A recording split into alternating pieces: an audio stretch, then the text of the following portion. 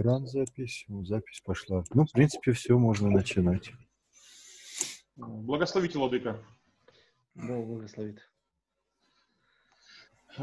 Ваше Пресвященство, дорогие отцы, с дорогими матушками вашими. Всех еще еще раз поздравляю с праздником, с великим праздником Рождества Иоанна Притечи. И прошу благословения Владыки и вашего соизволения, отцы, на продолжение своего выступления э, по теме э, миссионерского служения святителя э, Иннокентия Вениаминова. В прошлый раз я остановился на моменте, когда путь святителя Иннокентия из служения священнического и иерейского э, превратился или перешел на следующую ступень э, путь апостольского святительского служения.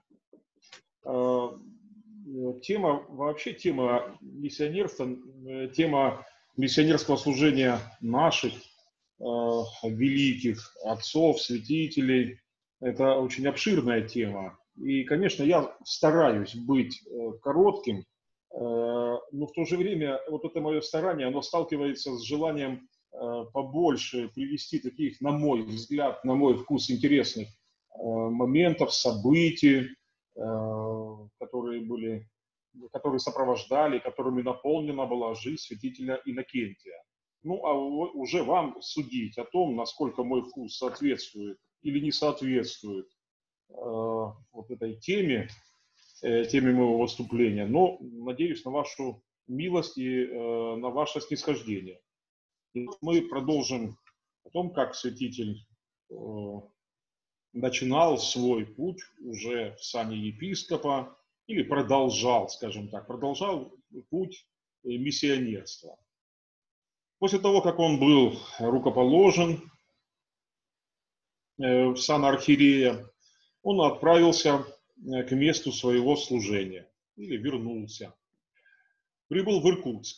Здесь э, он э, посетил могилу супруги, отслужил панихиду, естественно, а в церкви Благовещения, где начинал свой священнический путь, совершил божественную литургию и благодарственный молебен. Затем заехал на свою родину, в село Ангу, заходил в избу, в которой родился и провел детство я на этих моментах останавливаюсь, потому что они говорят о человечности э, святителя Иннокентия, великий святой, но в то же время человек такой же, как и мы. Э, ничто человеческое ему не чуждо было. Я в данном случае и э, хочу вот, сказать о том, что сам, когда бываю на своей родине, в Армавире, всегда или стараюсь в котором родился и вырос э, в Армавире. Несколько раз даже приглашали в дом, когда я был со старшим братом или с братьями. Там разные уже несколько хозяев сменилось, там чаем угощали. Определенные человеческие чувства, ну, можно сказать, ностальгические чувства. Я думаю, многим это понятно и близко. Вот владыке Иннокентию предстояло самое тяжелое расставание – это расставание со своими детьми перед свидетельским служением. И вот есть э, свидетельство Андрея Николаевича Муравьева. Он писатель, поэт, церковный историк, был чиновником Святейшего Синода. Свидетельство о переживаниях владыки Иннокентия. Вот такая цитата. «Велика, однако, была жертва, которую он приносил Богу. На другой день утром я посетил его в доме американской компании, где он имел пребывание. Иннокентий в большом волнении ходил по комнате и старался побороть себя. Увидев меня, не мог он удержать слез. «Ах, детки мои, детки мои!» – сказал он прерывающимся голосом. «Как мне вас жаль! Сейчас только я с ними простился. Ах, как они плакали! Особенно меньшая, ведь я еще никогда с ней не расставался. Она при мне росла, со мной плыла кругом света и меня всегда утешала. Очень хочется еще однажды, в последний раз их поцеловать и благословить. Но они будут плакать и опять меня расстроят. Нет, лучше не поеду. Ведь я их уже отдал Богу и добрым людям. И опять полились слезы из глаз нежного отца.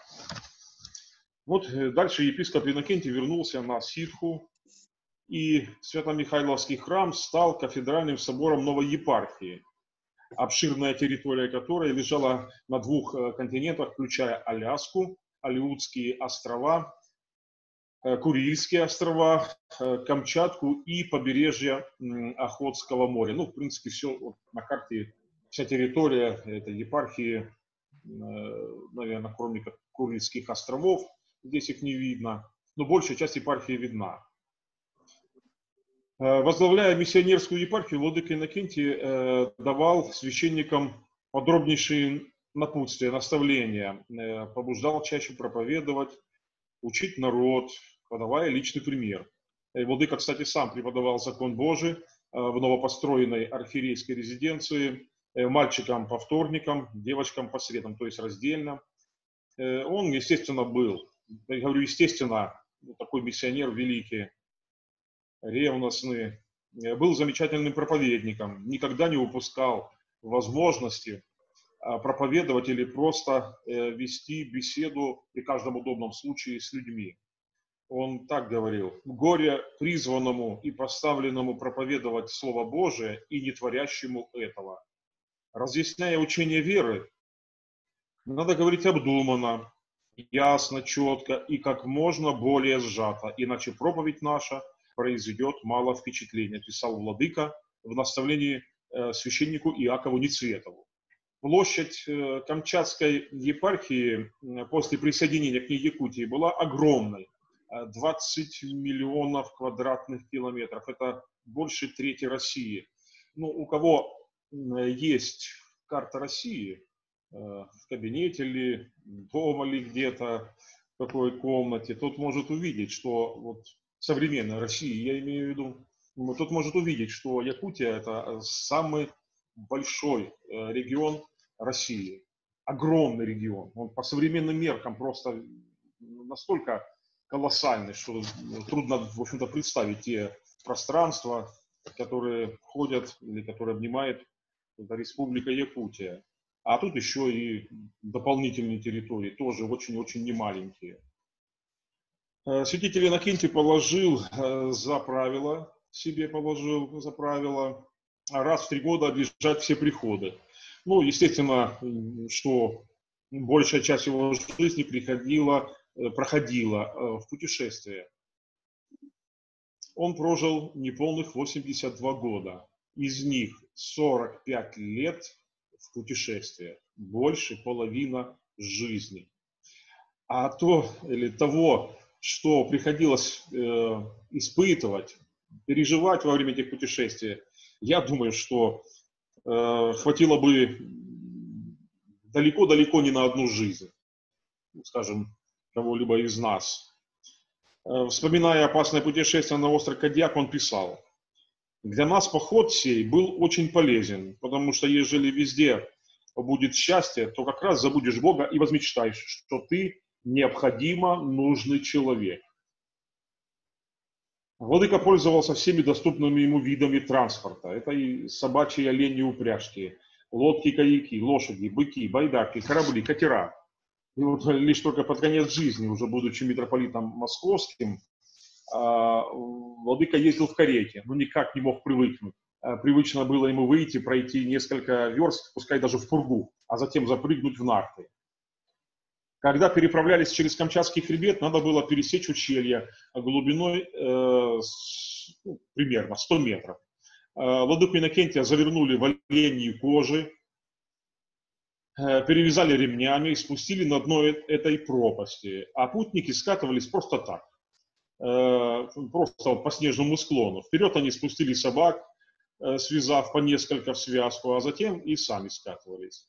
Э, в письме митрополиту Филарету владыка Иннокентий описывал одно из своих путешествий. «Скажу нечто и о путешествии моем по Камчатке и Охотской области. Из Камчатки выехал 20 9 ноября 1842 года и 3 апреля прибыл в Охотск. Ну вот ноябрь и апрель. Э, проехав более 5000 верст на собаках и э, отчасти на оленях и пробыв, собственно, в пути 68 дней, а прочее время проведено прожитие на разных местах. Повозочка моя, в которой я проехал всю дорогу, была весьма похожа на гроб, то есть также узка и длина, и такой же формы, только тем отличалась от гроба, что на полозьях и на задней части оной был зонт. Мне редко случалось ехать по узкой дороге, пробитой между снегами. Тогда мне казалось или приходило на мысль, что я еду в гробе по длинной могиле. Ему только стоило остановиться и велеть зарыть себя. Ну и чувство юмора, конечно, здесь присутствует. Более 25 дней проведены вне всяких жилищ. Семь дней проведены совершенно в пустых местах. Мороз иногда был очень жесток. Но благословен Господь, хранящий меня во всех путях моих. Несмотря на резкие перемены воздуха, воды, пищи и прочее, я и все сущие со мной были совершенно здоровы. Никто из нас, можно сказать, не видал даже неприятностей, ну, выключая мороз. Словом сказать, я готов еще не один раз проехать по Камчатке, если только буду здоров. Э, в Камчатке церквей очень много, 10 на 5 тысяч населения, а в Охотске чрезвычайно мало, 3 на 6 тысяч. Вот э, говоря о путешествиях, вот тех вот трудностях, которые э, всегда присутствовали в путешествиях, сопровождали можно вспомнить слова апостола Павла. «Скитались в милотях и козьих кожах». Ну, владыку в оленях спускали терпя недостатки, скорби, озлобления, скитались по пустыням и горам, по пещерам, пещерам и ущельям земли. О другом своем опасном путешествии э, Владыка писал игумену Дамаскину Кононову, настоятелю Валаамского Святопреображенского монастыря. Ну, он писал по поводу э, того, что, видимо, кто-то рассказывал о каком-то видении во время этого путешествия. И вот это, наверное, дошло до игумена Дамаскина.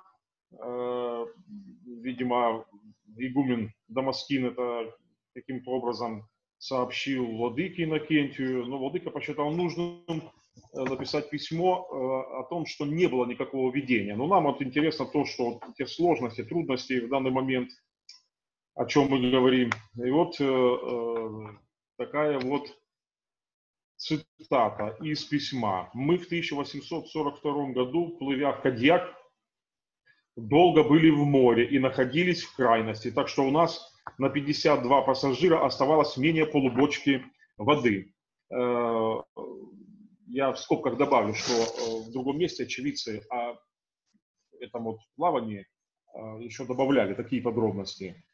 Закончились сухари, вареную в морской воде солонину раздавали пассажирам мелкими кусочками, воду отжимали из парусов, все заболели, сидели 28 дней в трюме в темноте, перебираться можно было только на четвереньках. Ну, все это из-за жестокого шторма. И вот Владыка дальше продолжает. Пред в Кадьярскую гавань, гавань нас встретил противный ветер, который дул ровно трое суток.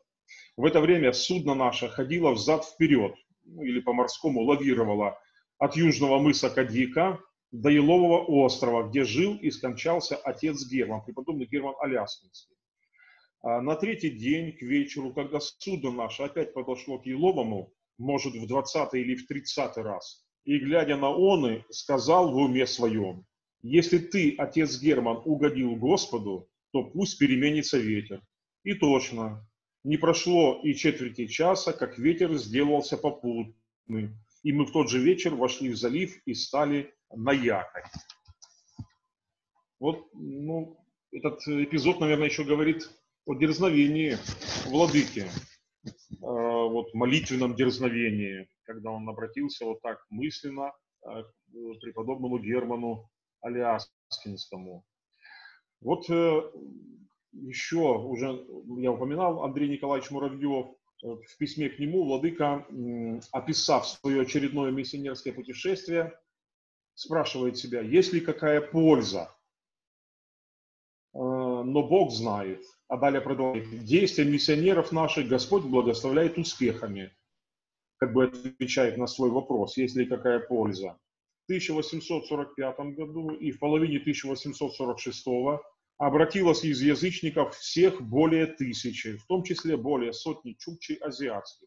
Миссионеры наши действуют, слава Богу, со всем усердием. Ездят, зябнут, работают своими руками, терпят разные неприятности, недостатки и даже нужды. Но к чему все такие подробности? И зачем даже объявлять об этом? Бог обращает людей, а не люди. В другом письме, к тому же Андрею Николаевичу Муравьеву, Владыка пишет о своем, он называет его третьем путешествии по азиатской части моей епархии. Вот вам краткий очерк моего пути. Из Ситхи я отправился 21 мая. Воян пришел 20 июня. 30 июля отправился в Камчатку на том же корабле, на котором пришел из Ситхи, и 30 пришел в Петропавловск. 8 августа отправился я на верховых лошадях на реку Камчатку и по ней сплыл до устья. Здесь пересел на казенное судно и на нем пришел опять в Петропавловск 28 августа. 14 ноября я отправился на собаках в Гижигу, куда приехал 18 января. 30 выехал и по 25 февраля прибыл в Охот, откуда отправился я 8 марта и проехав по новому пути по реке Майи, а не через Якутск, как это было прежде, 3 апреля приехал в Аян. Много расстояния пройдено, более 13 тысяч верст. Много употреблено времени, почти 11 месяцев. Да, я, э, простите меня, вспоминаю, э, как-то почитывал, я побывал где-то порядка 30 аэропортах в России и за рубежом. Э, ну, в некоторых случайно, там посадка или пересадка была. А вот. Но что, что эти 30 аэропортов по сравнению вот с одним таким миссионерским путешествием? Все мои э, поездки или полеты, они намного меньше, можно сказать, э, чем одно путешествие владыки Иннокентия. 27 лет длился апостольский подвиг э, э святителя Восточной Сибири уже в 1841 году владыка Иннокентий написал наставление священнику-миссионеру, э, где он, в частности, э, так говорил. Оставить родину и идти в места отдаленные, дикие, лишенные многих удобств жизни, для того, чтобы обращать на путь истины людей, еще блуждающих во мраке неведения, и просвещать светом Евангелия, еще не видевших всего спасительного света, есть дело – поистине святое, равноапостольное. Блажен, кого изберет Господь и поставит на это служение. Владыка сам нес это служение достойнейшим образом. Несли это служение и его верные помощники, священники-миссионеры. А, встречу и разговор с двумя из них описывает Иван Александрович Гончаров, опять же, в своем фрегате «Палладок», э, к которому я уже обращался, к этому произведению. Там, потому что, повторяюсь, уникальные свидетельства о святителе Иннокентии. И вот я хотел бы, с вашего позволения, вот прямо с этой книги Фригат Паллада зачитать э, вам ну, довольно пространную цитату. Когда э, сам писатель Гончаров, он был вот в кругосветном путешествии, можно сказать, возвращался через, через из него или заканчивал его, когда с берегов дальневосточных э, путешествовал уже э, сухопутным путем в Санкт-Петербург, и когда он пробыл как определенное время в Якутске, вот он пишет так. Упомяну прежде о наших миссионерах. Здесь их в Якутске два. Священники Хитров и Запольский. Знаете, что они делают? Десять лет живут они в Якутске, и из них трех лет не прожили на месте, при семействах они постоянно разъезжают по якутам, тунгусам и другим племенам. К одним крещенным ездят для треп, к другим для обращения. «Где же вы бывали?» – спрашивал я одного из них. «В разных местах», – сказал он. «И к северу, и к югу, за тысячу верст, за полторы, за три. А кто живет в тех местах, например, к северу? Не живет никто, а кочуют якуты, тунгусы, чукчи ездят по этим дорогам верхом, большей частью на одних и тех же лошадях или на оленях. По Колымскому и другим пустынным э, трактам есть, пожалуй, и станции. А, но какие расстояния между ними? э, верст по 400, а небольшие всего по 200, 200 верст. 200 верст небольшая станция, где же останавливаются, где так есть повар, не говорят мне. Э, при этом слове, конечно, представился вам и повар, пожалуй, э, воображение э, запахнет бифштексом, котлетами. Повар, не говорят мне, это пустая, необитаемая юрта а с одним искусственным отверстием наверху и со множеством природных щелей в стенах, с очагом посередине и только. Следовательно, это квази-поварня. Если хотите сделать ее настоящей поварней, то привезите с собой повара, да, кстати, уж и провизии, а иногда и дров, где лесу нет. Не забудьте взять и огня, попросить не у кого. Соседей нет кругом. Прямо на, тысячу или больше верст пустыня. На, направо другая, налево третья и так далее. Слава Богу, есть еще и поварня, говорит отец Никита. А то и не бывает. Как же тогда ночуем на снегу?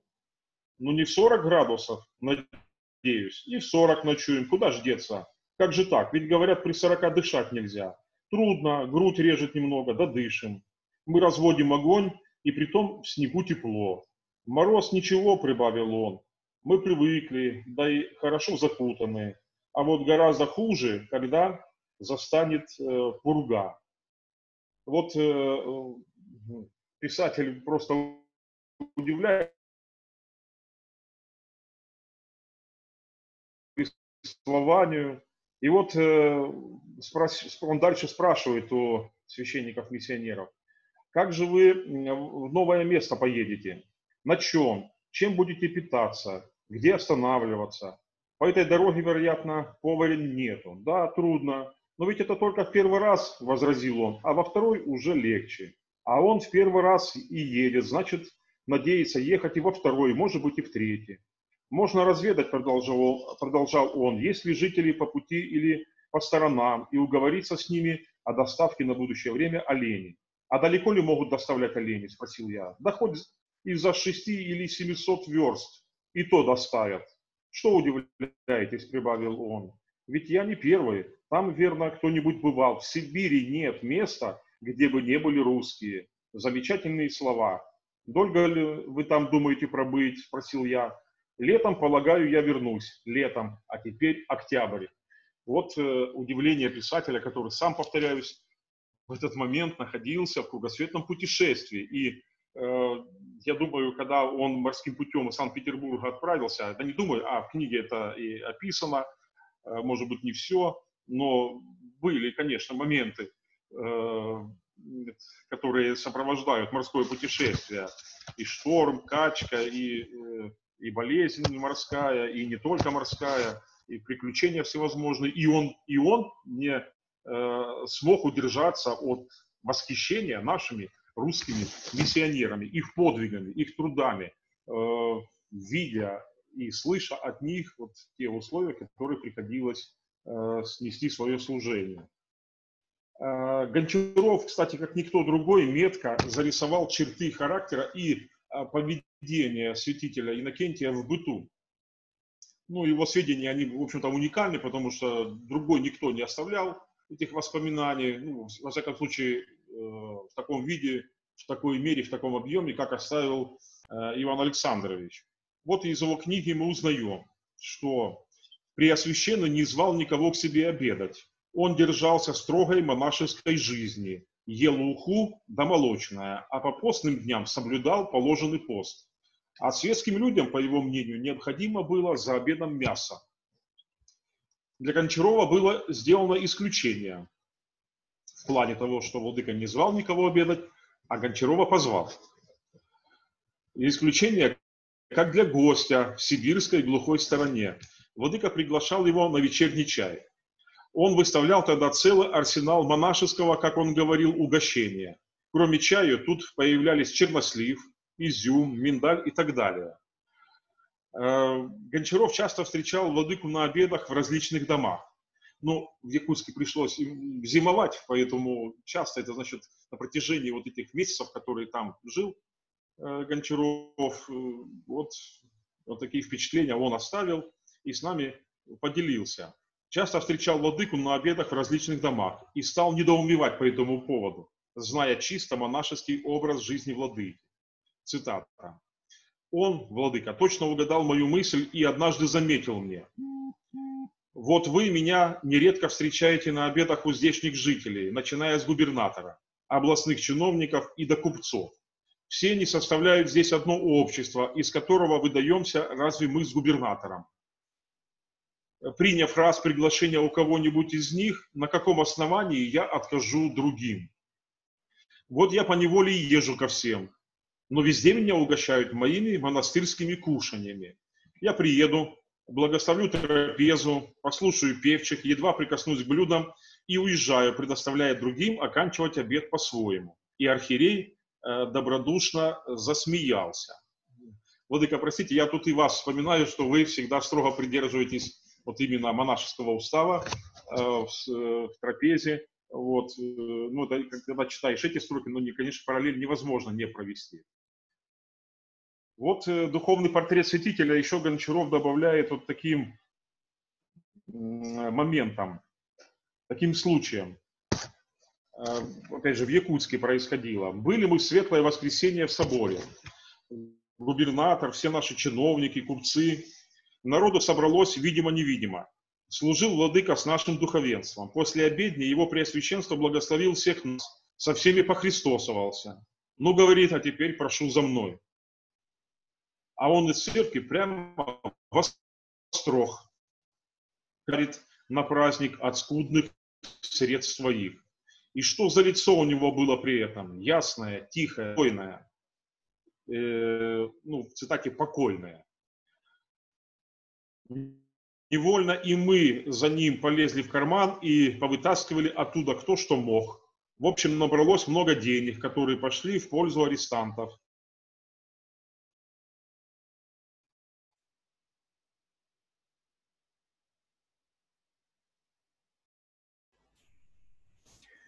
Это только у меня подвисает или у вас, Алексей, интернет? У всех подвисает. Да, звук пропал. Мгм. Звук пропал, да. Не, ну вообще Да, звука его не, не видно. Отец Алексей пропал. Завис, да. Ну, сейчас подождем. Демонстрация его есть. А, и демонстрация вылетела. Наверное, его выкинуло из конференции. Может, просится уже там? Сейчас я смотрю, Владыка, жду. В чате я его не вижу. Я, Это э, происки, вражьи происки. мгм. Да, нету его в чате. Наверное, выбросила. Сейчас ждем Полчаса тогда. прошло уже, да, половина. Я пока приостановлю запись, наверное. Ну, конечно, самолете в комфортабельном. Летим куда-то, вот, говорит, устал я путешествую. Как на собаках, на оленях, на лошадях, на кораблях. В морозы. Да, крепкие были люди, конечно. Ну, отец Алексей появился по записи.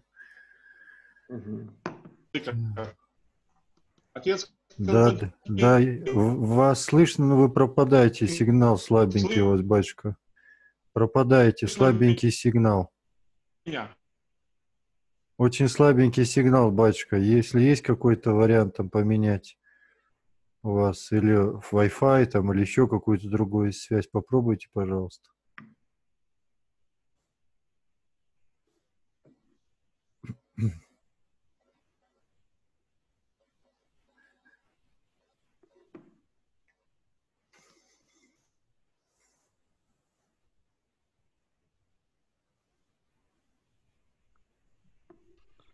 Интернет, я тут... э. Ну, давайте Да. продолжим еще. Да, да, да, да. А, ну, Владыка, ну, у меня как бы и по времени уже немножко как раз осталось. Э, Как бы эту сегодняшнюю часть, а предпоследнюю закончить. Э, и, по-моему, у нас э, перед пропа- тем, как пропала света, э, связь, я рассказал эпизод о том, как Владыка после пасхального богослужения всех э, повел в острог для благотворительности. Вот, и Да. всем показал пример Э, и все, естественно, этому примеру последовали, хотя не ожидали, конечно, такого поворота дела. Но это тоже один из вот таких моментов, который, э, повторяюсь, вот рисует нам такой облик, облик великого святителя. Ну и, конечно, пример для всех нас. Но хотел отметить, что при всей жизнерадостности Владыка, естественно, Владыка Иннокентий обладал чувством юмора. Это многие отмечают, многие приводят примеры, э, как проявлялось это чувство. Ну, когда читаешь письма его, естественно, это ты сам обращаешь на это внимание, сам это замечаешь, э, где какая-то легкая ирония. Она, кстати, эта ирония проявлялась даже и в не очень веселых, скажем, моментах. А, владыка в письмах бывало сетовал на э, какие-то трудности, ну, скажем, трудности э, кадровые. Там, когда, когда он их описывает, я, э, я не решился их приводить, эти моменты, вот, но они довольно интересные. И, конечно, там чувство юмора святителя Иннокентия очень четко прорисовывается. Но вот я хотел э, некоторые моменты привести. Э, ну, хотел сказать, что без этого чувства, чувства юмора, ну, можно ли вообще, вот, э, мы знаем, что многие святые обладали чувством юмора. А, а вот в таких вот суровых условиях, в которых трудился, жил святитель, святитель Иннокентий, ну, по-моему, вообще невозможно без чувства юмора. Вот приглашает губернатор владыку отобедать вместе с ним и Гончаровым. И что же? Следует сцена, проникнутая легким юмором. Его превосходительство без просьбы к убогой трапезе не пригласит, не без иронии заметил архиерей. Я, ваше превосходительство, со своей стороны готов исполнить приказание, но надо доложить архиерею. Не знаю, какую резолюцию он положит, позволит ли монаху Иннокентию отлучиться от кельи, хотя бы и на убогую трапезу к Егемону Петру, он опять закатился смехом, и мы тоже. Ну, то есть э, в одном лице архиерей благословит иноку, ну, я об этом как бы уже упоминал, иноку, Иннокентию э, пойти на трапезу э, губернатору. Еще описывался такой эпизод, когда владыка служил в одном из монастырей, и э, певчие пели, пели за литургией «Отче наш», и там такая, э, такое концертное, видимо, исполнение, э, когда слова пелись э, «Хлеб наш насущный дашь нам есть», басы молчали, молчали в этот момент. Но после службы, когда была трапеза, ходили в трапезную, владыка и говорит настоятелю монастыря, говорит, что вы, говорит, басам сегодня хлеб не давайте. Они во время «Отче наш» молчали во время этого обращения, этой просьбы. Эм, ну, а вот э, у владыки был еще друг, отец э, Дмитрий Хитров, и э, владыка Иннокентий, он рекомендации по разным, в одном даже месте он может даже не в одном, может там несколько раз он говорил отцу Дмитрию, что, чтобы тот был больше соответствовал своей фамилии Хитров. Ты, говорит, хоть иногда хитрость проявляй, ну, э, тогда, когда это необходимо. Ну, в частности, это когда отец Дмитрий был секретарем у э, епископа, чтобы, значит, э, нужно где, когда что-то посоветовать, подсказать, вот такой с хитрецой немножко надо, чтобы э, ну, я бы сказал, тут даже слово может не хитрость, хотя Владыка это употребляет, мудрость, мудро все это делать. Э, вот, э, вот эти чувства, э, эти вот чувства, это чувство юмора, вот такие качества владыки, конечно же, безусловно, помогали ему вот в несении своего пути. Конечно, он был молитвенник, конечно, он был очень трезвомысленный, он был и строгий был, он применял э, и прещение по отношению к священникам, э, и даже до лишения сана.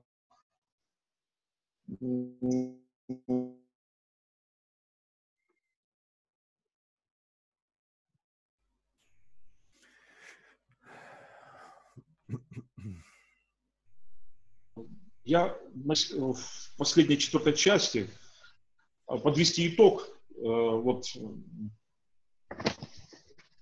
краткий итог краткого обзора э, жизни и деятельности, подвигов, трудов святителя Иннокентия.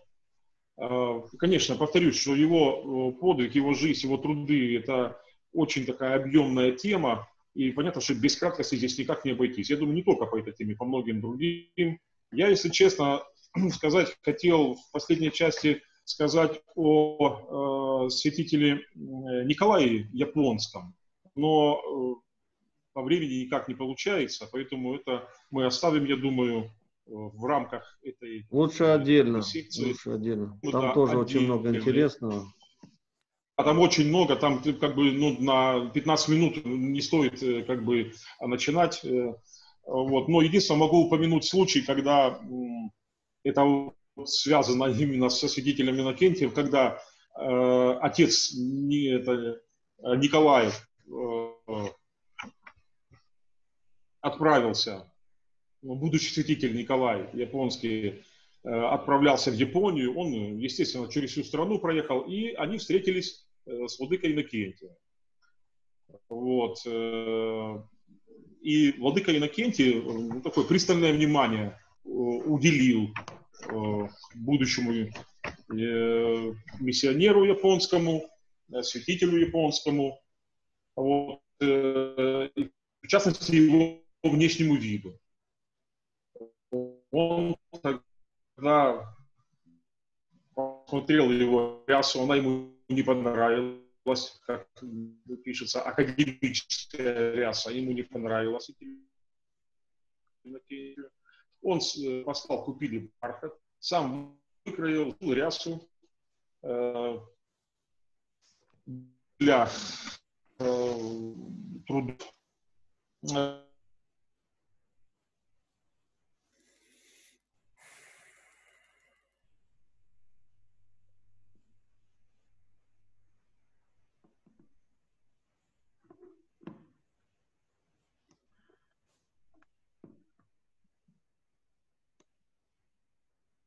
поэтому это он был необходим такой, и бархатная ряса, и крест, для того, чтобы произвести первое благоприятное впечатление на э, коренных жителей той страны, куда он отправлялся.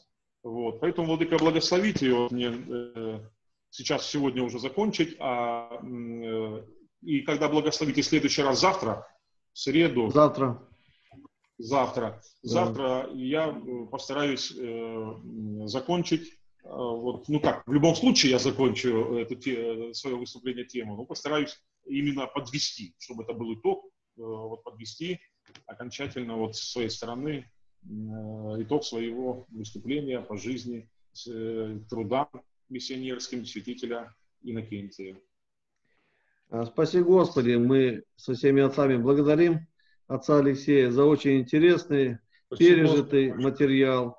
Вот, очень много вы почитали и так вот рассказали интересно, конечно. И э, есть, конечно, какие выводы нам для себя сделать. Вот. Смирять и смирять, конечно, и трудиться. Ну, благодарим, отец Алексей. Благодарю, Владыка, благословите. Всем доброй ночи. Ночи, Господи.